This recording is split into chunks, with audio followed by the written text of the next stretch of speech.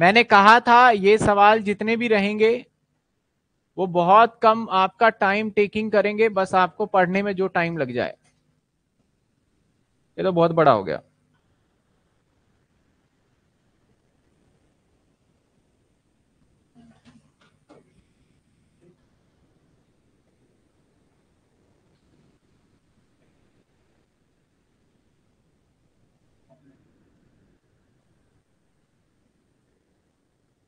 चलिए सर।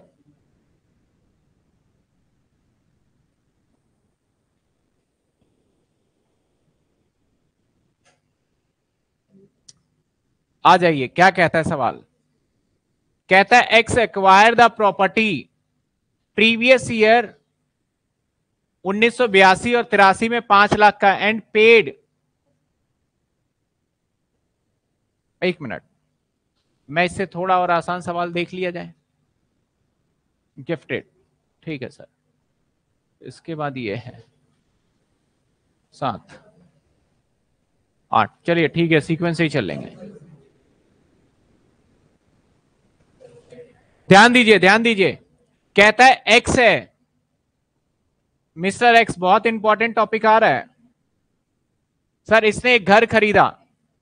एक प्रॉपर्टी खरीदा. सर प्रॉपर्टी खरीदा 1982 और तिरासी 1982-83 कितने का खरीदा सर? पाँच लाख का। एंड पेड एक लाख अठारह हज़ार as a registration charge sir registration charge paid कर दिया इसने एक लाख अठारह हज़ार। The market value of property एक चार दो हज़ार एक का कितने का था हमारा? तो सर, एक चार, दो हज़ार, एक का मार्केट मार्केट वैल्यू बीस लाख। तो सर, ये पुराने वाला क्या कोई काम का है मेरे? नहीं है सर, पुराने वाला वैल्यू किसी काम का नहीं है। हमारा सीधा वैल्यू कौन सा आएगा? एक चार, दो हज़ार, एक वाला। आगे कहता है क्वेश्चन में एक्स डाइड समस्या यहाँ। एक्स नहीं रहा, जो एक्स है वो डाइड हो गया।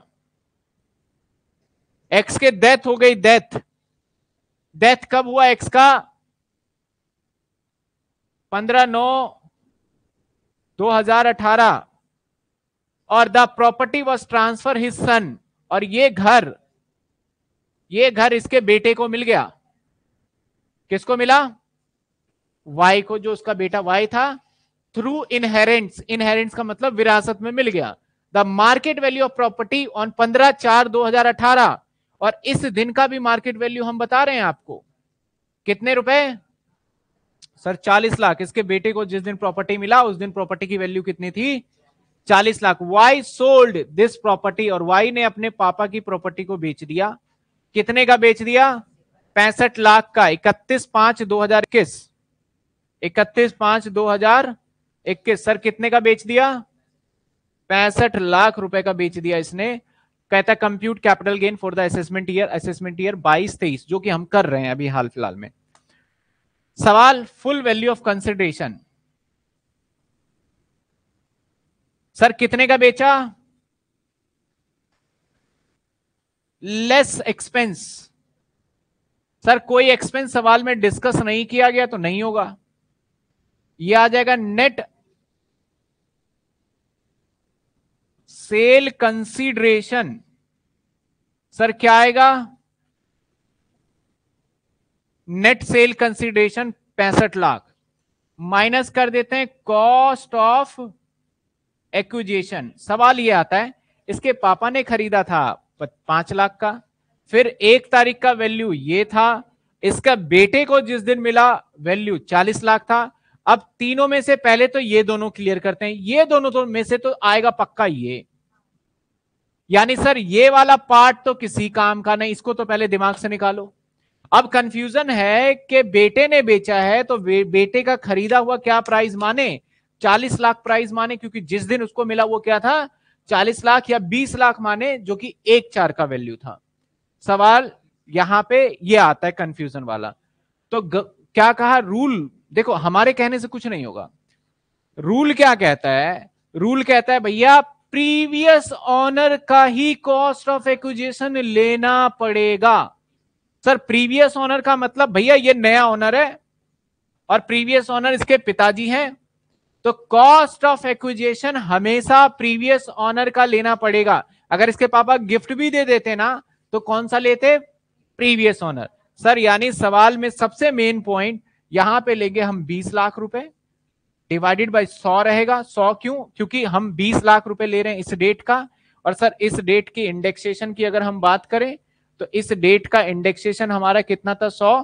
और हम अगर 21 22 की बात कर लें तो क्या है? 317 तो सर 21 22 में आ जाएगा 317 तो एक सवाल और समझा। पिछले वाले सवाल में हमने क्या सीखा कि अगर हमें पुरानी वैल्यू गिवन है तो 2001 की वैल्यू ले लेंगे। इस वाले सवाल में क्या सीखा हमने? अगर आपका कोई भी प्रॉपर्टी किसी के नाम पे फ्री में इनहेरेंस में गिफ्ट में ट्रांसफ़र हुआ हो कभी भी तो हम उस डेट पे क्या वैल्यू है डजेंट मैटर जो पुराने मालिक ने खरीदा था, वो वैल्यू से हम सारा का सारा कंसिडर करेंगे सर तो आ जाइए यहाँ पे। यहाँ पे देखा जाए तो 20 लाख इंटू में 317 डिवाइडेड बाय 100 सर तिरसठ लाख चालीस हज़ार। अब आ गया ये एल टी सी जी। हा? एक साठ किसी बच्चे को कोई इसमें डाउट किसी बच्चे को कोई डाउट फादर अगर सन को देता है तो वो भी ट्रांसफ़र थोड़ी होता है। बिल्कुल सही बात है, वो ट्रांसफ़र नहीं होता। क्योंकि ट्रांसफ़र रिगार्ड नॉट जिस दिन बिका ही नहीं माना जाएगा तो फिर माना जाएगा जिस दिन खरीदा है, उसकी वैल्यू मानेंगे। पहले बताइए इस सवाल में कोई डाउट एक बच्चा कह रहा है सर 2021 में से 2078 तक ये 43 साल होते हैं तो लॉन्ग टर्म है। हाँ जी इतना ज़्यादा थोड़ी जाना है। हमें तो वैसे ही पता चल रहा है सर ये लॉन्ग टर्म है। बिल्कुल आपके टेन ईयर के अंदर सारे गिवन है और ये पीडीएफ तो देखो मैं अपलोड करता ही हूँ कि आप, आप इसको नोट कर पाओ क्योंकि मैं नोट करने के लिए टाइम देता नहीं।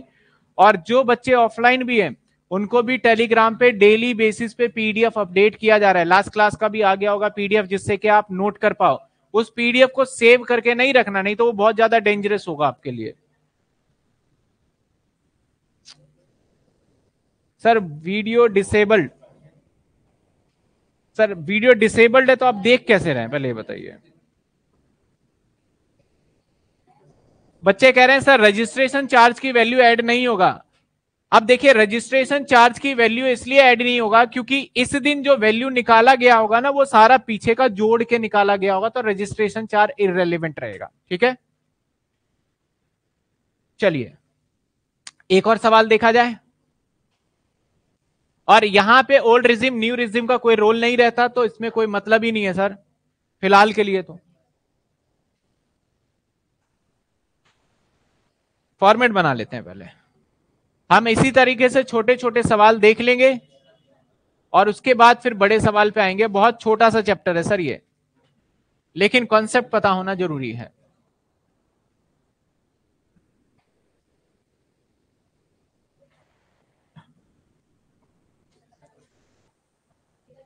देखिए, सवाल में क्या कहता है? Assets acquired by SSC from the previous owner sir, एक एसेट्स एक्वायर किया गया था एक चार दो हज़ार एक में। कहता है X acquire a land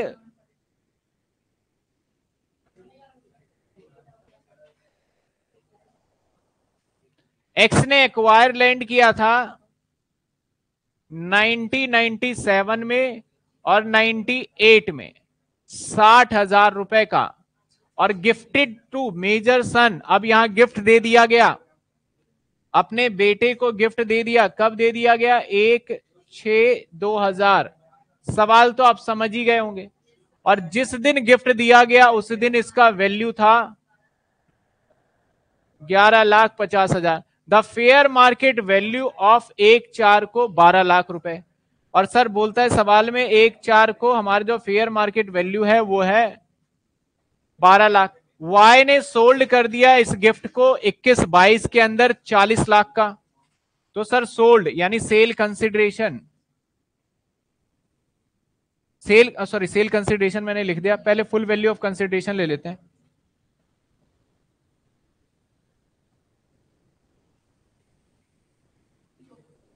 Full value of consideration sir, कितने का बेचा? चालीस लाख। सेलिंग एक्सपेंस है क्या? अज्यूम दैट्स एक्सपेंस ट्रांसफ़र एक लाख रुपए। तो है सर। एक्सपेंस कितने का है? एक लाख का। तो बचा हमारा कितने का? थर्टी नाइन लैख का। इसके बाद क्या कहता है? Compute the capital gain for assessment year बाईस तेईस assume the expense on transfer एक लाख रुपए है। What would be the capital gain if land was gifted by x to his son on 15 पाँच 2007 अगर इसके बेटे को इस दिन गिफ्ट दिया जाता तो क्या आता? सिंपल सी बात है। सबसे पहले तो माइनस कर दें। सीओ ए सीओ ए में एफ़ लेंगे। एफ़ कितना है? 12 लाख इंटू में। अब डिवाइडेड में तो 100 रहेगा, क्योंकि कौन सा ऑनर लेगा? इस डेट पे इसके बेटे को मिला तो क्या ये डेट कंसीडर किया जाएगा?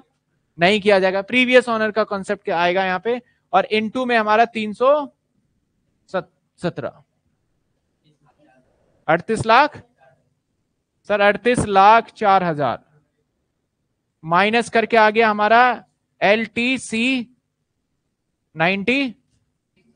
Sir, बोलता है कि अगर इसके बेटे को पंद्रह सात, पंद्रह पाँच दो हज़ार सात में देता तो क्या फ़र्क पड़ रहा है? बेटे को तुम कभी भी दे दो। बेटे वाले को जिस दिन मिला है उस दिन के वैल्यू का तो कोई इंपॉर्टेंस है ही नहीं। तो बेटे को उस दिन भी देता तो क्या आपके आंसर पे फ़र्क पड़ता? जवाब है, सर, नहीं नहीं, कोई आंसर पे फ़र्क हमारा नहीं पड़ता। सर स्क्रीन पर मैसेज शो हो रहा है। कौन सा मैसेज आ रहा है? मेरे समझ में नहीं आ रहा।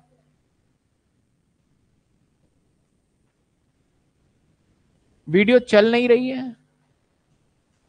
भाई, बाकी बच्चे जितने भी हैं लाइव में, बताइए। वीडियो क्लियर आ रही है, नहीं आ रही, ताकि पता चल पाए कि अगर सभी को दिक्कत आ रही है तो जेनविन प्रॉब्लम है। अगर कुछ को दिक्कत आ रही है तो हो सकता है इंटरनेट वहाँ पे सेटिंग का ऑप्शन होता है, वो ठीक कर लेंगे।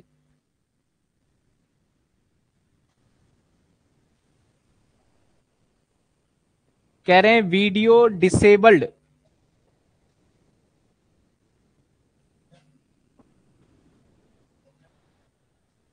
कुछ बच्चे कह रहे हैं डिसेबल्ड तो जिन बच्चे का आ रहा है ना डिसेबल्ड आप एक काम करिए, दूसरा कोई भी मोबाइल हो तो एक बार वीडियो बना लिए ताकि मैं उस आपके प्रॉब्लम को सॉर्ट आउट करवा पाऊँ, देख के कि क्या एक्चुअल प्रॉब्लम है, मुझे समझ नहीं आ रहा। काफ़ी बच्चे बोल रहे हैं, सर, बिल्कुल क्लियर आ रही है। काफ़ी बच्चे कह रहे हैं, वीडियो चल नहीं रही बट डिसेबल्ड शो हो रहा है। तो एक बार प्लीज़ जिन बच्चों के साथ ये प्रॉब्लम आ रहा है, बाकी रिकॉर्डेड तो आपको मिलता ही मिलता है, जिसके पास ये प्रॉब्लम आ रहा है, वो फटाफट से एक छोटे से किसी अदर मोबाइल से स्क्रीनशॉट तो लिया नहीं जाएगा, किसी अदर मोबाइल से छोटे वीडियो बना के आप मुझे भेज दीजिएगा nine one three six three six वाला जो नंबर भेजा हुआ है उस पर मैं एक बार रिफ्रेश कर लेता हूँ, चलो। मैंने कर लिया सर रिफ्रेश। हाँ अब यहाँ पे बच्चे बढ़ गए रिफ्रेश करने के बाद।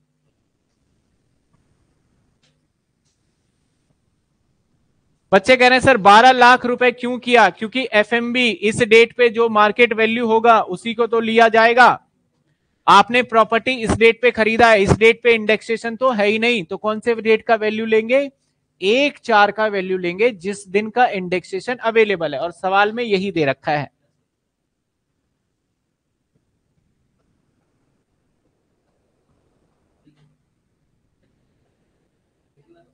चलिए, देखिए, मैं दोबारा समझा देता हूँ, कुछ बच्चे कह रहे हैं। सवाल में यह था कि मिस्टर एक्स का एक्स ने ये प्रॉपर्टी खरीदा था उन्नीस सौ अट्ठानवे में 97 98 में कितने का? छह लाख का। उसके बाद उसने अपने बेटे को एक छह दो हज़ार में, मरा नहीं है यहाँ पे, अपने बेटे को गिफ्ट दे दिया, ग्यारह लाख पचास हज़ार रुपए। उस दिन वैल्यू था, जिस दिन बेटे को क्या दिया था इसने? गिफ्ट दिया था, उस दिन की वैल्यू है। तो सर, इस दिन खरीदा था, बेटे को इस दिन गिफ्ट दिया था। और बेटे ने क्या करा? चलाकी करी और बेटे ने बेच दिया इसको। कब बेचा भाई? बेटे ने पंद्रह नौ 2021 में बेटे ने सोल्ड कर दिया। कितने का बेचा सर? 40 लाख रुपए का। तो सबसे पहले एसेट्स बेचा गया है तो कैपिटल गेन अराइज होगा और लॉन्ग टर्म ही होगा क्योंकि लंबे समय का है। तो सबसे पहले सर लॉन्ग टर्म की बात करें तो ये रहा 40 लाख। एक्सपेंस क्वेश्चन में बोला था एक लाख रुपए। अब बात करते हैं इंडेक्सेशन सर एक चार को ये वाला जो वैल्यू होगा वो तो इंडेक्सेशन के हमारे पास है नहीं। तो किस डेट की वैल्यू पकड़नी पड़ेगी हमें? 2001 और दो की। 2001 और दो की हमें वैल्यू दे रखी है 12 लाख, वही लिया। उसका इंडेक्सेशन सौ होता है और जिस साल बेचा जा रहा है इक्कीस बाईस इक्कीस बाईस है, इक्कीस बाईस का इंडेक्सेशन क्या होता है? 317 उसके हिसाब से हमने यहाँ पे निकाल लिया है। बड़ी सीधी सी बात है यहाँ पे।